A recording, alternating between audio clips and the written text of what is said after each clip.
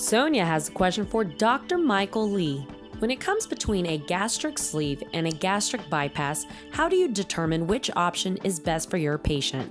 Well, there's no really wrong uh, answer to that question, but certain patients will do better with a certain type of operation. Um, if a patient has severe acid reflux disease where they're on uh, multiple drugs without relief, they're going to do better with the gastric bypass. It's the gold standard operation for uh, acid reflux disease. If a patient has to lose between 60 to 100 pounds and they have minimal reflux, they're going to do well with a sleeve gastrectomy.